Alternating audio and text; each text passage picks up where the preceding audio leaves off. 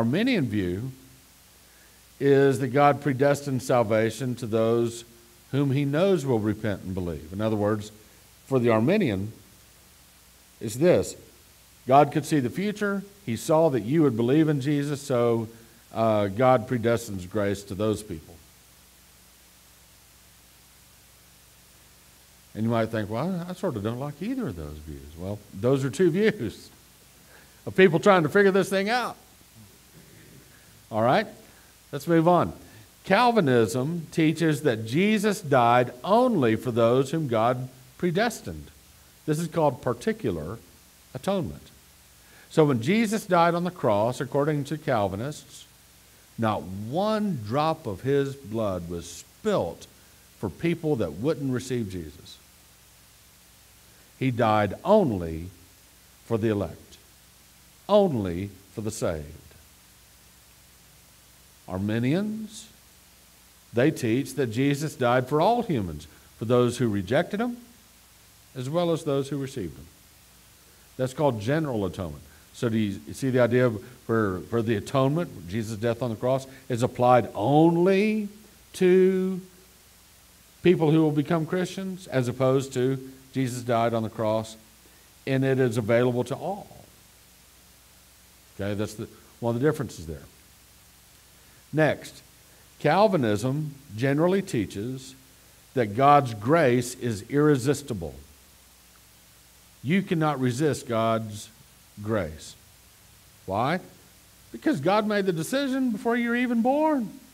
I mean, so the logic stands that if, if God made the decision to choose you to be a part of His family before the foundation of the world, if God made that decision for you, then at the moment that the Holy Spirit decides now's the time for you to receive grace, you can't resist.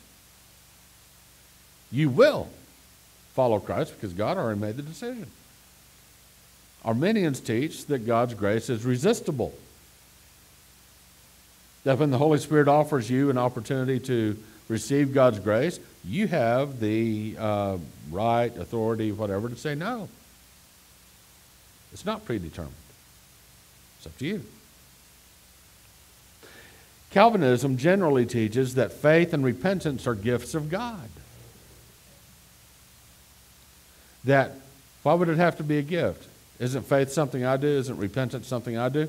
Well, it's a gift because God decided a long time ago that you're going to get saved.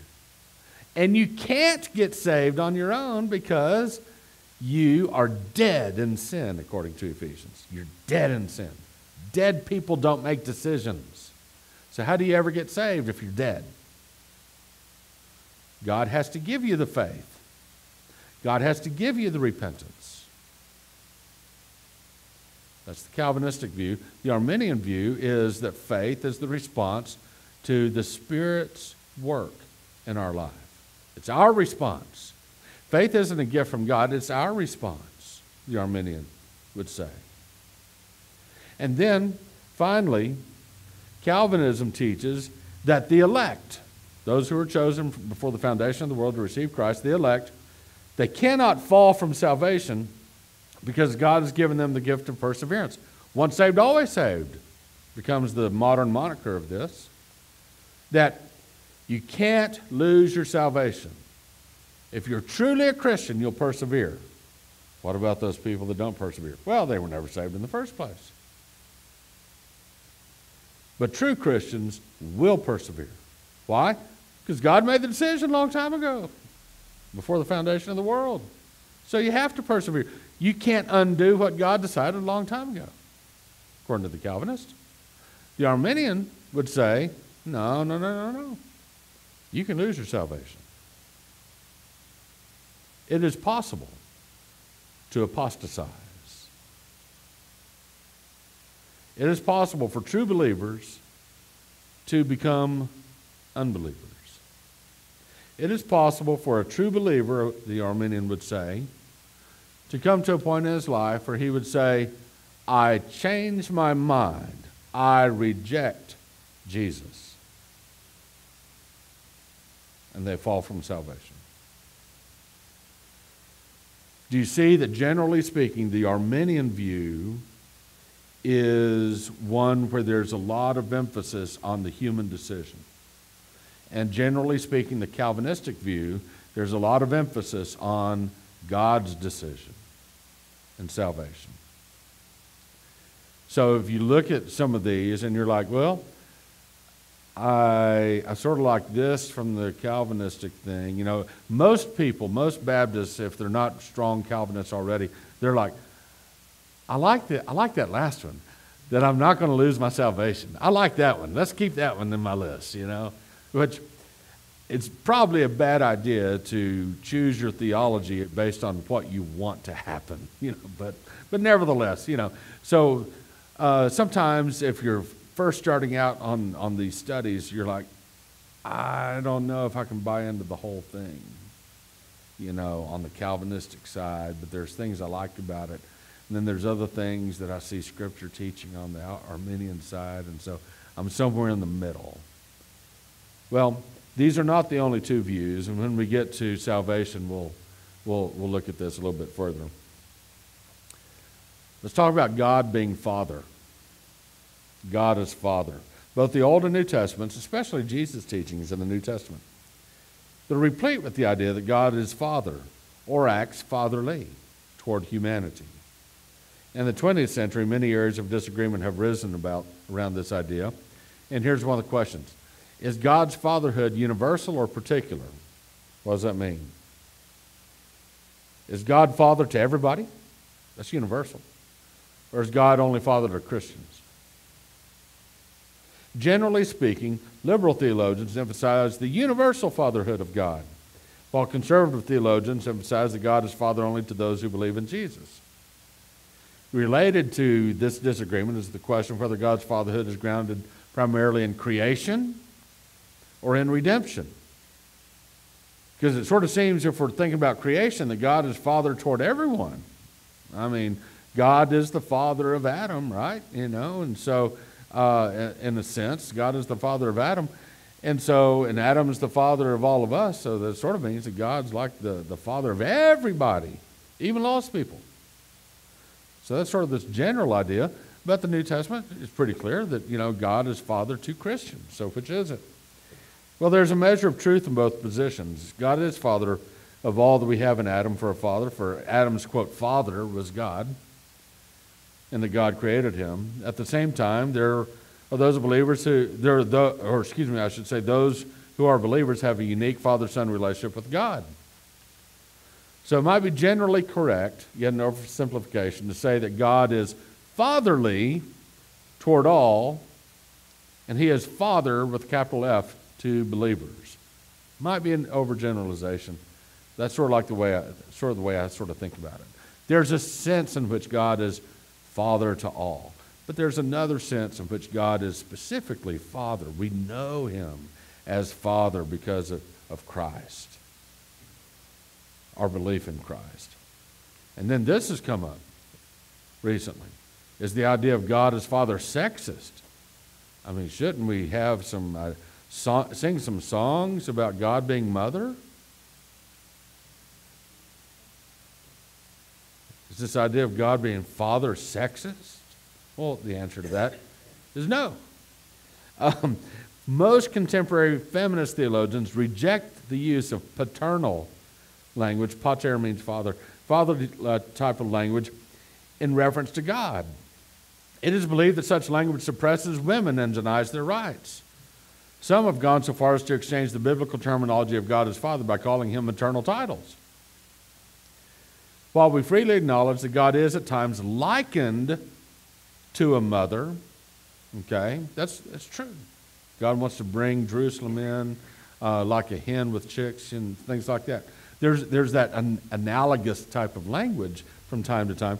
These analogies are far removed from actually describing God as a mother goddess, as was the practice of the civilization surrounding ancient Israel with regard to their, their fertility goddesses. Theologian W.A. Wierteltooth, love that, probably mispronouncing that, writes this. I, I like what he writes. He says, God transcends the difference of the sexes. We call him Father because Jesus has taught us to do so. And, we, and to cease to call him is to cease to pray as Jesus enjoined us. To refuse to use any reference to God as He, and to choose terms such as the divine being or the deity, is to depersonalize God. We don't want to do that.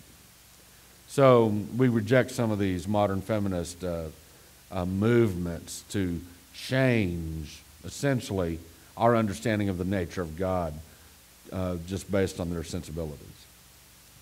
Now, let's talk about the Trinity. What does the Bible say? That's the first thing we're going to talk about. The biblical witness to the triune nature of God. We're on page 10, down at the bottom. The concept of the three in oneness of God. That's what we're talking about with the Trinity. Three in oneness. Somehow God is three, somehow He is one. It's three in one when we have this understanding of God. This idea, this concept, is not directly and explicitly taught in the Old Testament, but there are very strong clues that suggest the idea is implied. For example, in Genesis 1, God says, Let us make man in our image according to our likeness. Who's God talking to? Who's the our? Who's the us? Most Christian theologians say, well, God is talking to, you know, there's this, there's discussion going on within the Trinity to do this. Jewish theologians, they have the same scripture. They say, no, it's, it, God is speaking in, in plural because he, it, it just represents the, the majesty of God in creation. And then there's a view that says that God is actually speaking to his divine council of, of spiritual beings that he created. Um, you know, I, I think it's uh, probably the best view is that, you know, this is an understanding of God, uh, the Trinity, uh, collectively deciding to make man in, uh, in our image, as God says. Then Exodus chapter 3, verses 2 and 4 and, on page 11. Listen very carefully to these two verses. And the angel of Yahweh, that's the personal name of God, the angel of Yahweh appeared to him, that's Moses, in a blazing fire from the midst of the bush. So who appeared in the midst of the bush? According to verse 2. The angel of Yahweh. The angel of Yahweh in verse 2. What's verse 4 say, though?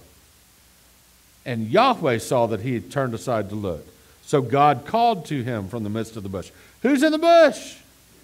Is it the angel of God or is it God? That's the angel of God in verse 2, but it's God in verse 4. What's going on? Maybe the angel of the Lord is the Lord. And so there's these hints, these clues that there might be um, um, multiple persons, if you will, called Yahweh. Now, what does that mean? I mean, isn't that tritheism? Isn't that? We're going to talk about what that might mean in just a minute.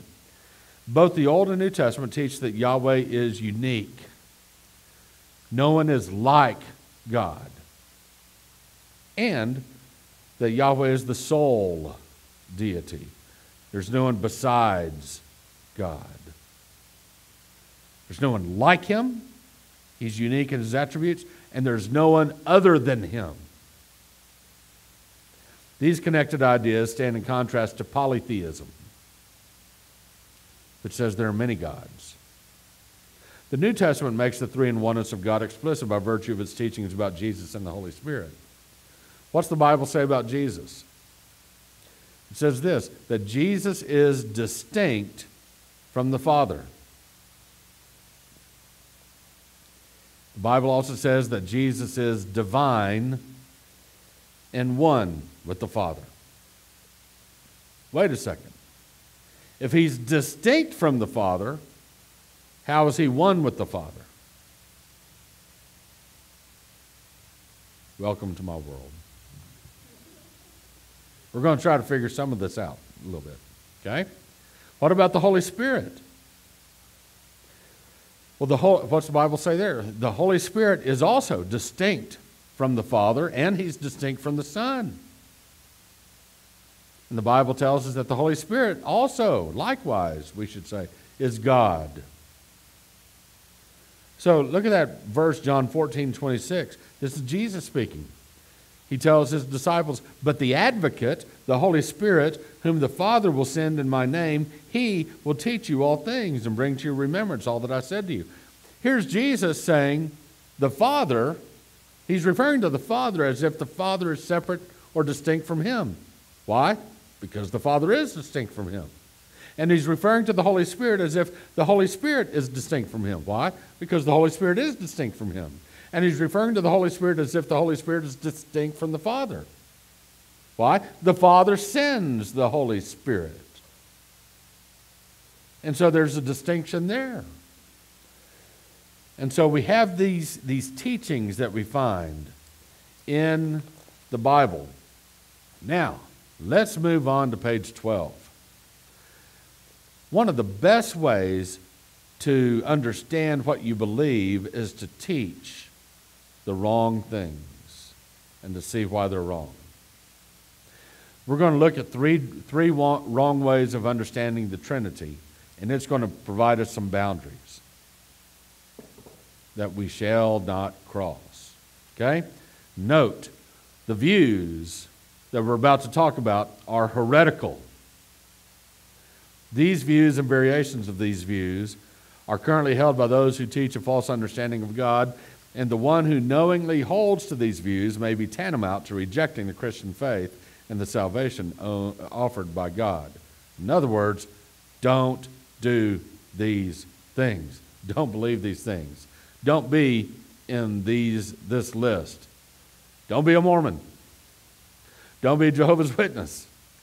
And don't be a oneness Pentecostal. That includes the United Pentecostal Church International. All of them explicitly deny the doctrine of the Trinity. They're heretical. And I mean, you can go to the UPCI website, United Pentecostal Church International, I mean, and, and you can just read right there. They do not believe in the Trinity. So, let's talk about these views. View number one the Unitarian view. This is the view that Jesus is not God. Here we have on the board Father, Son, and Holy Spirit. Is not actually the Father or the Son or the Holy Spirit. These are letters on a board. Um, the Unitarian view, what's, uni- what's Unitarian? What's unity? Unity is one, right? Okay. So the Unitarian view says that Jesus, the Son, is not God. Only the Father is God. And it claims that God is unipersonal, meaning there's only one person. As we understand the, the Godhead, as we understand who God is, there's only one person right here, and it's the Father. There are no internal differentiations. Unitarian, Unitarianism sacrifices the deity of Jesus Christ and the deity of the Holy Spirit for the unipersonal oneness of God.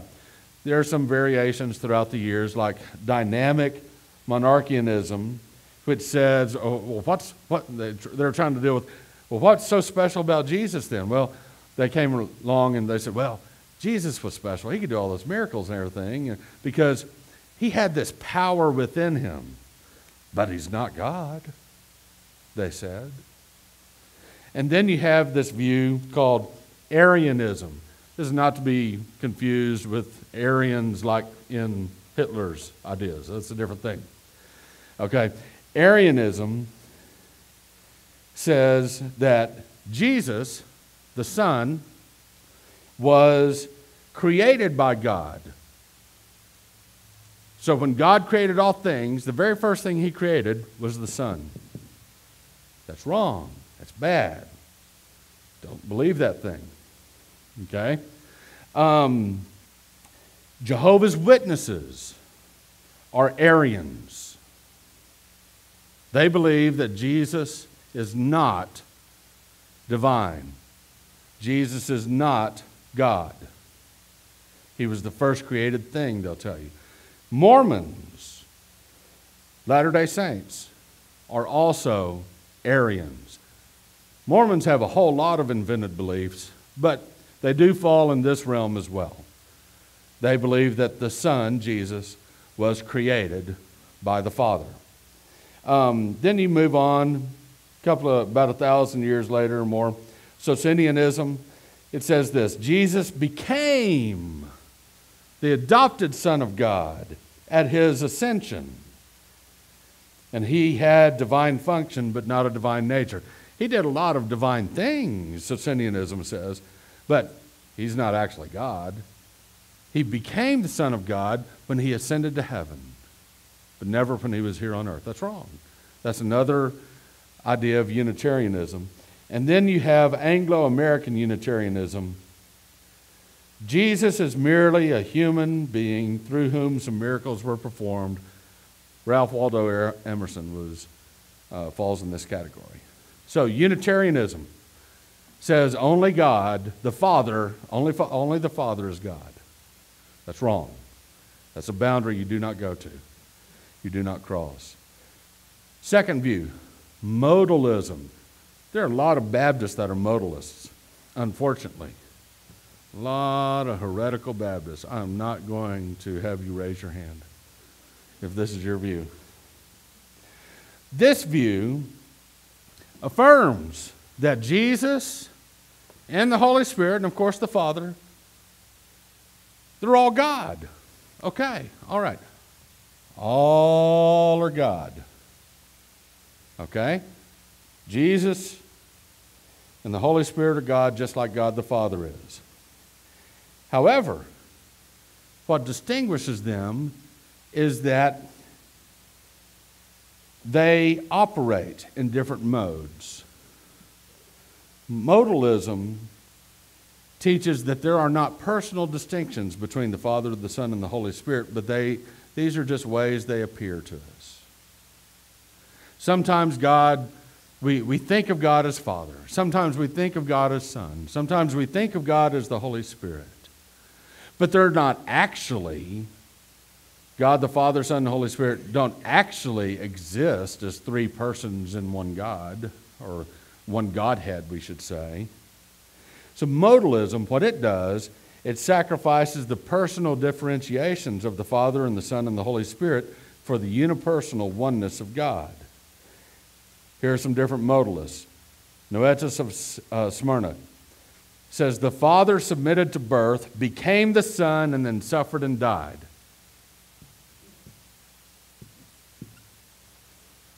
The Father became the Son. The Son became the Holy Spirit. That's what I mean when I say that a lot of Baptists are modalists. A lot of Baptists believe that God the Father became flesh and became the Son. And then when Jesus left, God the Son became the Holy Spirit who dwells in us. No, wrong, heresy. Don't go to hell. Don't believe that. Okay? Don't believe, don't knowingly believe that. If you mistakenly believe it, it's one thing. But don't knowingly reject what the scriptures say about the very nature of God. Sabellius, God is essentially one. The Trinity is one of manifestation, but not of essence. The one God became known to humanity in three successive modes first as Father, then Son, then Holy Spirit. Michael Servetus, God has three dispositions. The Holy Spirit was an angel, and the Word, Jesus, no longer exists. That's a different form. Cyril Charles, Charles Richardson, the Father, Son, and the Holy Spirit are not actually distinct from one another. They're simply ways of thinking about God from different points of view. That's wrong. But you'll hear people say that. Then you have another view, which is also wrong, called tritheism. Here's tritheism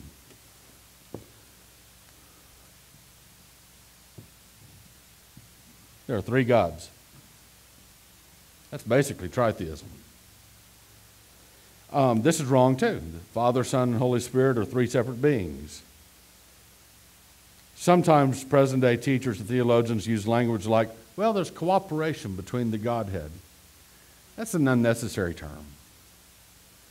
uh, you, you start using language like that, it makes it sound like, oh, sometimes the son's sort of doing his own thing. He's not getting along with the father. I mean, you know, you want to avoid language that, that makes a strong distinction as if there's three separate gods going on. So, a basic understanding of the Trinity on page 13. What will it avail thee to argue profoundly of the Trinity if thou be void of humility and are thereby displeasing to the Trinity? Don't displease the Trinity. All right? So let's talk about the threeness and the three in oneness of God. One of the problems that we encounter, by the way, there's that view, tritheism. Sorry about that. Tritheism on the screen. One of the um, problems that we encounter when we discuss the Trinity is the problem of language. In English, we talk about there being persons. Okay? In Greek, the word used was hypostasis. And theologians like to debate whether our understanding of what a person is is the same as a Greek understanding of what a hypostasis is. So, in what way do we understand the, the, the idea of a person to describe the Father, Son, and Holy Spirit? However, we understand that, however, we talk about Father, Son, and Holy Spirit as being persons, and it's not improper to talk that way, to talk about there being three persons, three and one. How, but however we do that, we want to avoid the idea of, that we're talking about three separate gods.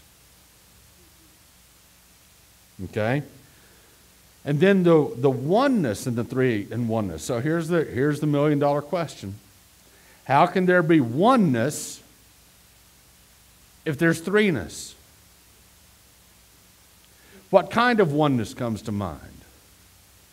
And every different understanding is flawed and, and, and just won't, you can press it too hard and it won't work. But in a mathematical sense, some theologians say that the Godhead is one in the sense of not being fractured. There's no fracture between the Father and the Son and the Holy Spirit. Okay? Maybe that helps a little bit, I don't know. Other theologians speak in terms of an organic unity, in which, if you think of a cell, uh, the, a cell exists by virtue of all of the multiple um, multiplicities within it. Uh, maybe that works a little bit. Maybe it helps a little bit to understand. But none of these understandings, none of these understandings can speak to the unfathomable mystery. The one thing we can be sure of is that we can see God's unity, the unity of the Father and the Son and the Holy Spirit, when God is at work.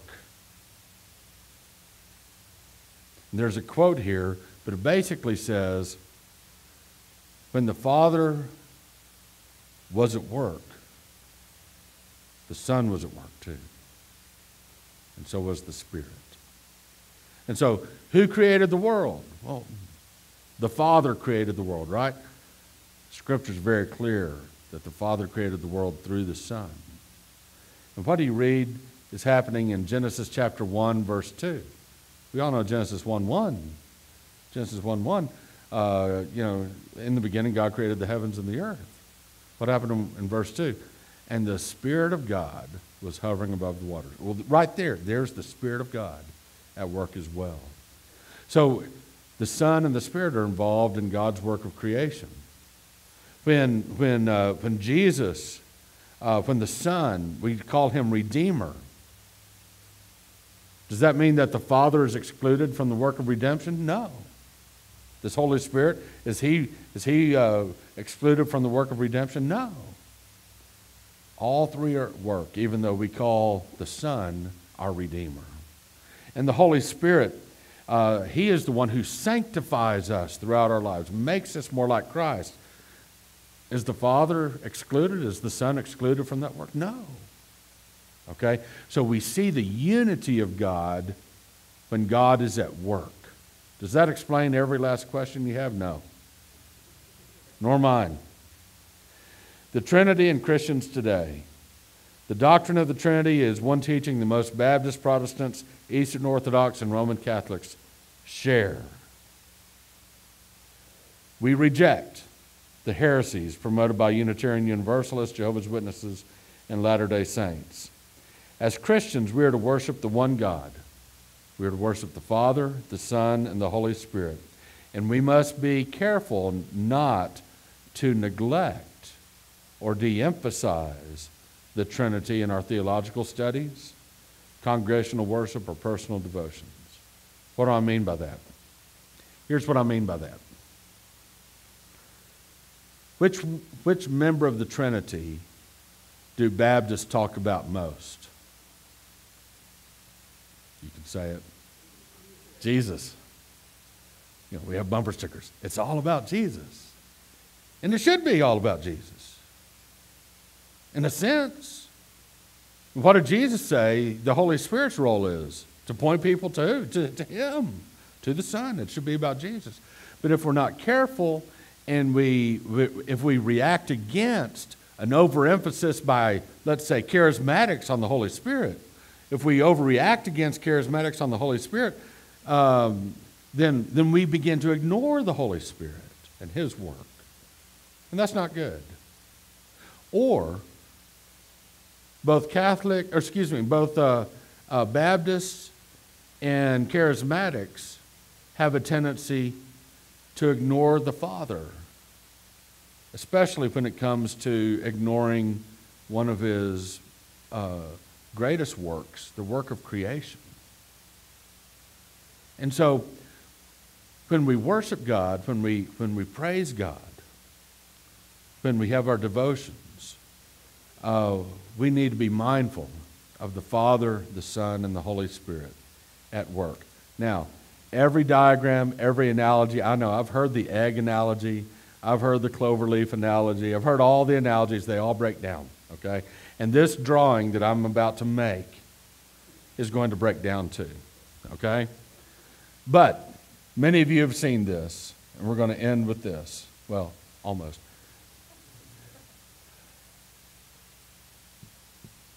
I should have made this bigger.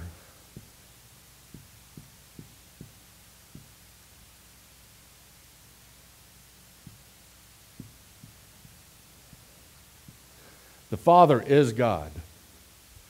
The Son is God. The Holy Spirit is God.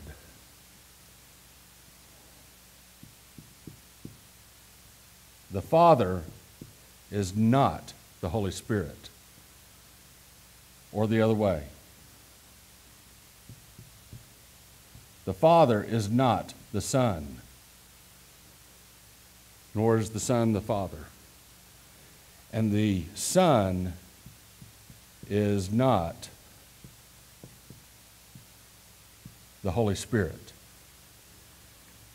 Okay? And you can find this drawing made a lot better than my handy artwork. Um, but if you want a general understanding of the Trinity, it's that Father, Son, and Spirit is God. They have the same nature. They are also distinct from one another. Okay? By the way, don't call the Holy Spirit it. He is a He. He is a person, not a force. Okay? Final thing, I would just point you to uh, a couple of things. The, the biography. Um, on the back, a couple of books, both named The Doctrine of God.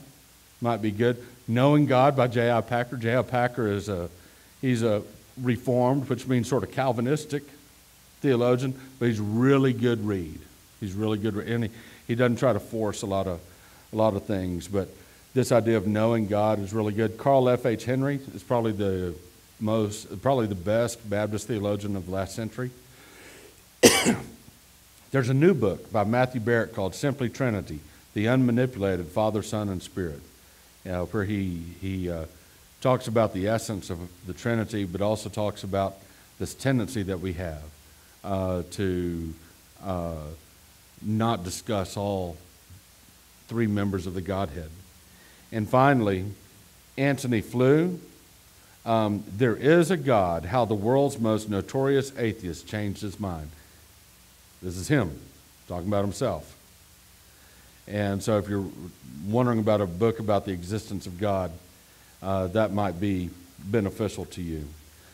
Also, in your biography, or not after the biography, you should have some appendices uh, there, including a rather lengthy article on um, the Jewish doctrine of the Trinity and the idea that uh, Jews, other than Jesus, in Jesus' day, in the first century and before actually, uh, actually believed that there was more than one person or persona going on in the Hebrew scriptures that they could call Yahweh. And so you might find that an interesting read, few, as well as um, a couple of other articles. But.